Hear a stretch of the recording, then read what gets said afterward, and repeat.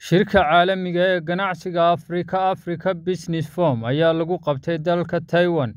Shirka oo sanad kasta la qabto ayaa waxaa soo qabanqaabisay Wasaaradda Arrimaha Dibadda ee dalka Taiwan iyo Africa Taiwan Economic Forum. Shirkadda isgaadhsiinta Telesom ayaa nasiib u yeelatay inay ka qayb gasho shirkaas iyada oo metelaysa guud ahaan Somalilan. Maamulka shirkadda Telesom ayaa sheegay inay ku faraxsan yihiin in shirka ganacsiga caalamiga ay ka qayb galaan. Shirkan waxaa lagaga hadlayay hayaanka fursadaha tiknoolajiyadda iyo warshadaha Digital and Industrial Trading and Opportunities. Shirka waxaa ka qayb galay wadamo badan oo Afrika sida Ghana, South Africa, DR Congo, Nigeria, Algeria, Somaliland, Egypt, Tanzania iyo Rwanda.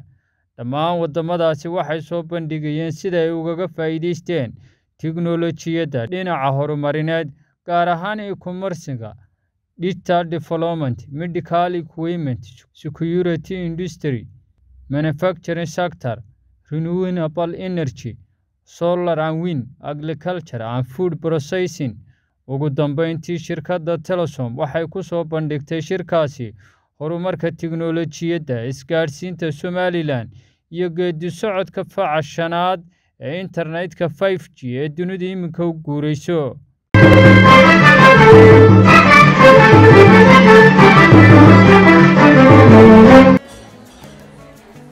واو اسبوعك في عايز صاحبي waad ka heshay sooma ما شاء الله صح ما عاد وش بصير waxaan ku shubtay xidhmo furan toban doolar baad ku shuban kartaa shan baad ku shuban kartaa shan iyo toban baad ku shuban kartaa labaatan baad ku shuban kartaa